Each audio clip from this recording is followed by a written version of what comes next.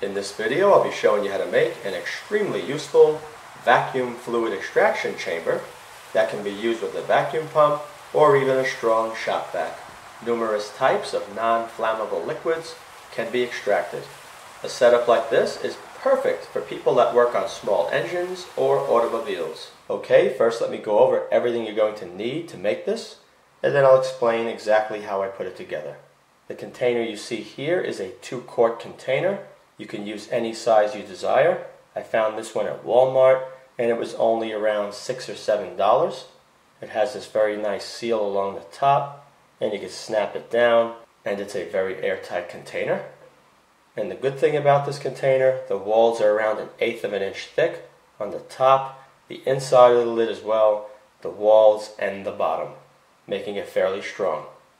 Over here you can see there's increments that are marked using a red Sharpie pen. All I did was take an 8 ounce measuring cup, pour water in, and mark all the increments all the way up to the top. Once you do that, it's highly recommended you take clear tape, go over all the writing that you did, so later on if you're handling a liquid and it gets on the outside, when you go to wipe the container, you do not wipe away all the marks that you made. The tubing right here is polyethylene tubing quarter inch OD used for ice makers and the ID I think is around 3 16ths of an inch. I recommend using about 5 feet of this, maybe 6 feet. Do not use vinyl because vinyl will become very soft if it's put into very warm or slightly hot motor oil. If you use this tubing, it has a higher resistance to heat and it's less likely to soften up. This side over here that connects to my vacuum pump is vacuum line that I picked up at a local auto parts store. You're going to require around 5 feet of that, and I use 732nd ID.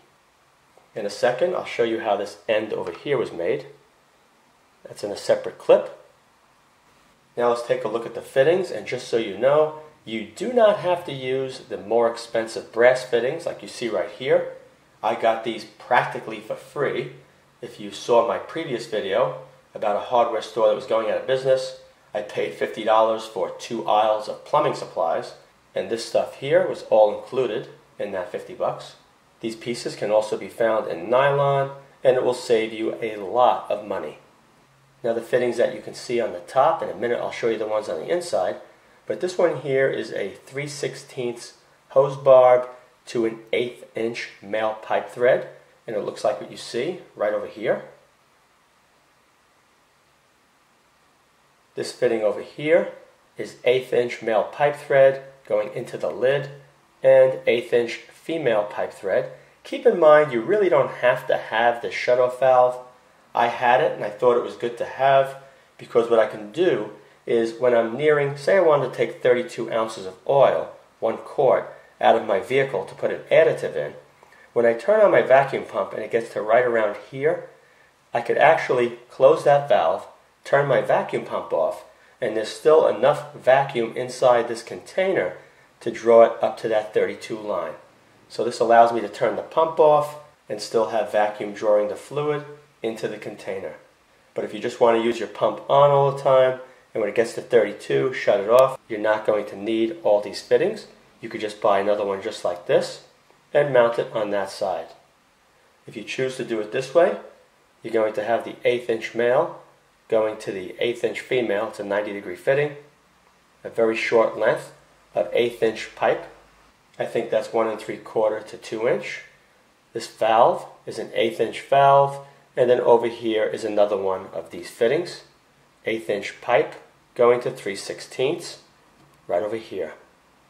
Now if you're going to use this with a vacuum pump, you're going to have to put this fitting on here. And what that is, is a quarter inch flare fitting. And you can see exactly how I made this to go on my vacuum pump in this short clip right over here.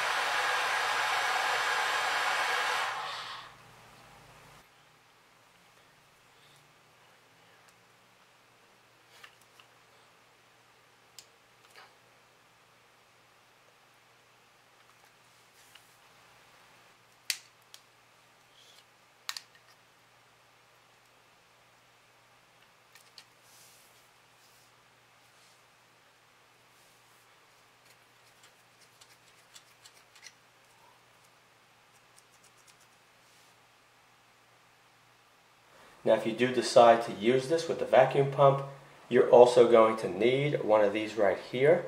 And what that is, is a quarter inch vacuum relief valve. When you're sucking the oil out of a vehicle, it could be transmission fluid, power steering, it could be engine oil, it could be just about anything except gasoline. When you're doing that, you want to ensure that the vacuum inside this container is not going to become too deep, risking that the entire housing collapses in, because if it does that, it's going to be a huge mess. It's going to throw the fluids all over the place. You definitely don't want that to happen. And you don't need 29 or 30 inches of mercury in order to suck the oil from an engine into this container. 15 inches of mercury is more than sufficient. And if you set it at 15 inches of mercury using this vacuum relief valve, you're going to eliminate any chance of this container collapsing. Right over here, you can see what happens if vacuum becomes too much inside of a tank. And that is exactly what you don't want to see happen with this container. This valve will prevent that from happening. Now the valve, I'll place a link in the video description area to make it easy for you to find this, but the rest of this stuff is very simple. Any hardware store will have it. Lowe's, Home Depot, Ace, True Value, or you can even purchase it online. Now this side over here is quarter inch male pipe thread. The washer slides over the thread, giving this a nice base when you bolt this down, helps distribute the pressure when you do tighten it onto that plastic lid. And just beneath this is a black rubber washer, which looks like these over here, underneath these two washers. And you can see that right over here in this image. You're going to wrap Teflon tape, you can see right here, the white, around the male pipe threads on all of these. And now let's take a look at the inside.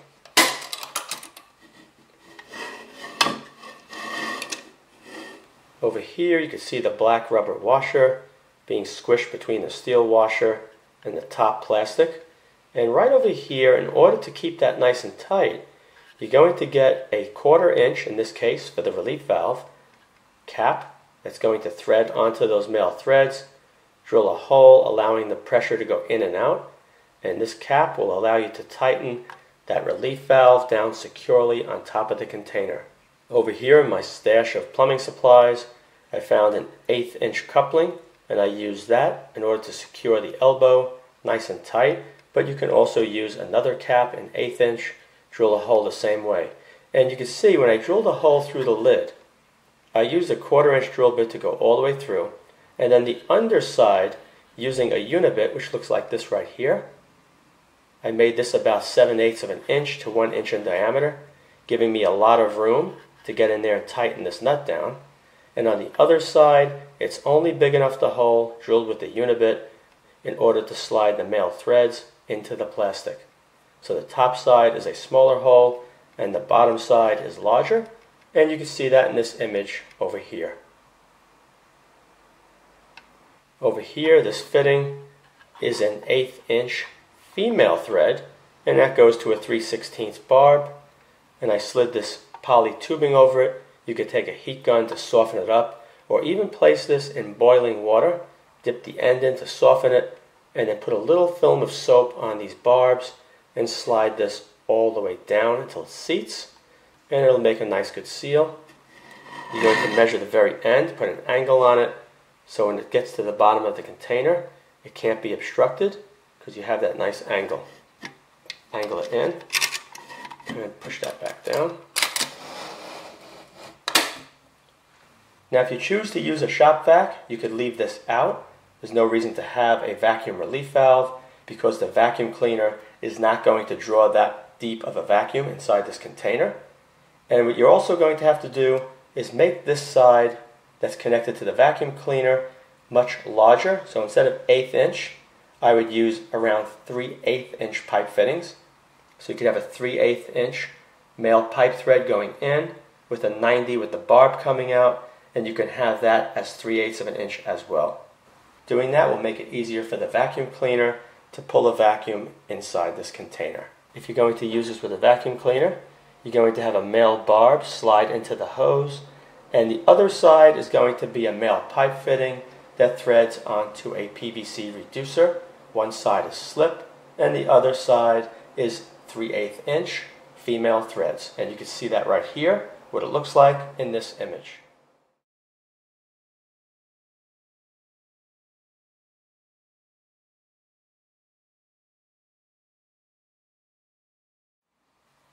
Now the way to set the vacuum relief valve is very simple. You're going to take the end of this tube right here. You're going to connect up a vacuum gauge. And you're going to loosen this nut right here, this bottom one, this hex. And then that's going to allow this knurled top section to rotate. Inside here is a steel ball with a spring. If you tighten this clockwise, what's going to happen, it's going to allow a deeper vacuum inside the container. If you go counterclockwise, it's going to create a lower level of vacuum inside the container. Mine has already been set, and you can see right here with this little demonstration using the vacuum gauge.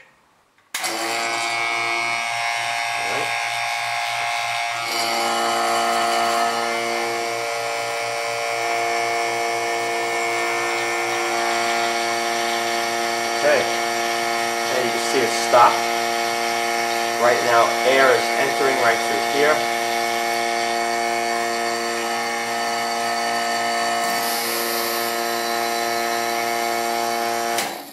It's as simple as that. Now for the demonstration, I'm going to be extracting one quart, 32 ounces of motor oil from my vehicle. The engine has been warmed up. When you're extracting oil from an engine, transmission fluid, power steering fluid, or any other kind of fluid, you want to make sure that it's very warm. It's going to reduce the viscosity, making the fluid much thinner and easier to draw into the container. And as a result, it's going to take a shorter period of time to get the fluid out.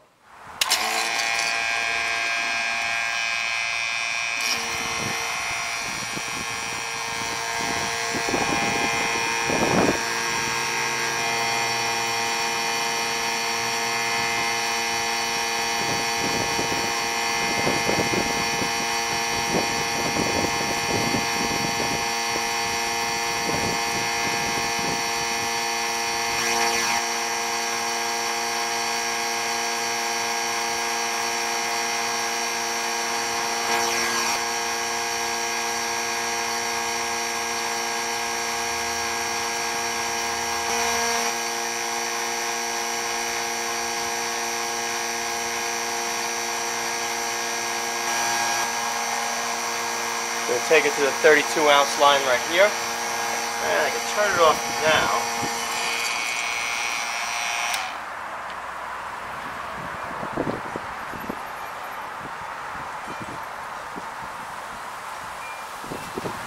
As you can see, we're up to 32. It's still going in. There's a vacuum right here with this closed and the pump off.